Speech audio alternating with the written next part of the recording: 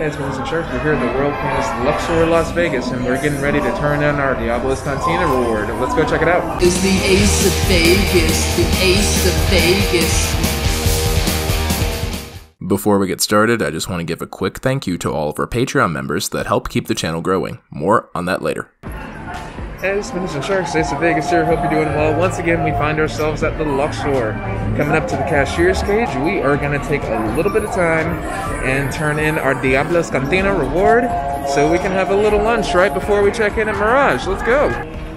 Okay, that was quite the slog to get through. It was the better part of a 30 minute line. They only had one cashier working, and they were doing uh, M life as well as the cashiering. So off we go, finally heading up the stairs. Let's go to Diablos.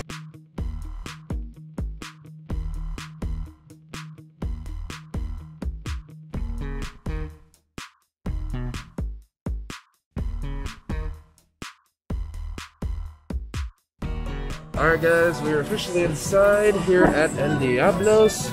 So we're gonna go ahead and see what the canteen is like. I've got my $20 My Vegas credit, and we are gonna spend it, so let's go.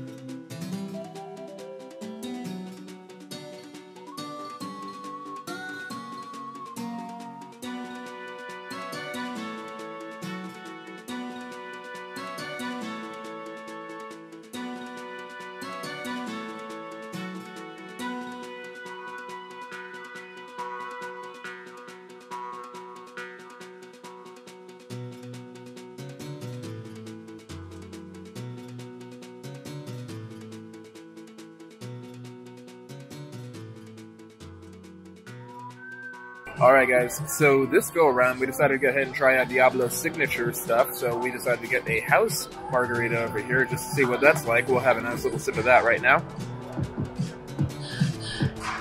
Hmm. No, even with the house tequila, that's actually still pretty smooth right there. Rock salt's on there too. bartender did a good job putting everything together. It's, uh, you know, it's icy, it's cold, but you know, it's uh, actually really good ice in here too. It's not really melting very quickly. Five out of five on that one. All right, guys, here we are. We got our tacos already. Took one for the gram, so let's go ahead and have a bite. One straight taco. Yeah. Not bad at all. It's nicely seasoned. Not very spicy. I was expecting it to be a bit more spicy, honestly. They got the onions, they got the cilantro, they got the peppers in there too. Good asada, well done. Good stuff. Um, definite four out of five there. I think I would have preferred it be a bit more spicy, or if there was like a, you know, like a chili sauce or something like that, maybe a salsa, maybe a salsa verde to go with it.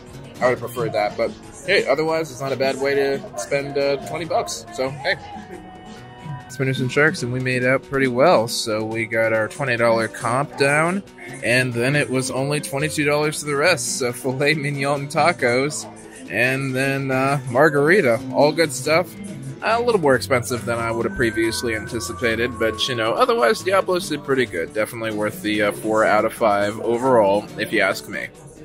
Alright, Spinners and Sharks, that's it for today's video. If you enjoyed today's restaurant review and found it informative, I'd appreciate a like and feel free to subscribe if you haven't already. Before I go, I just wanted to take a moment to shout out our patrons, including our newest Patreon member, John B. Guys, it means the world to me that you're choosing to support me in this way and help keep Ace of Vegas independent of the YouTube algorithm. My content isn't always censor and advertiser friendly, so it goes a long way in keeping the channel running. If you'd like a more direct hand in keeping Ace of Vegas growing, check out the Patreon link in the description box down below. That said, what do you guys think of Diablo's Cantina? Is it worth taking time out of your Vegas vacation to visit? Is this a My Vegas reward that you would use?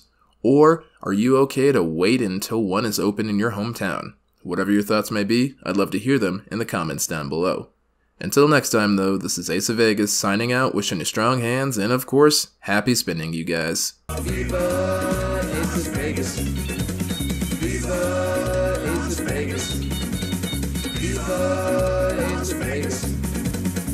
Viva,